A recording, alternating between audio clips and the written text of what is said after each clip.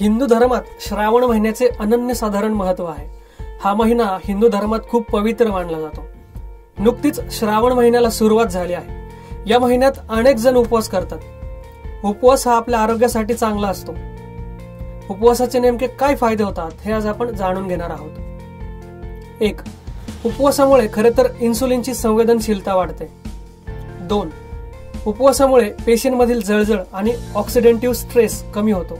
तीन उपवासामुळे शरीरातील स्वच्छता होते तसेच डिटॉक्सिफिकेशनही केले जाते. चार शरीराला हलकेपणा येतो त्यामुळे उत्साह वाढतो.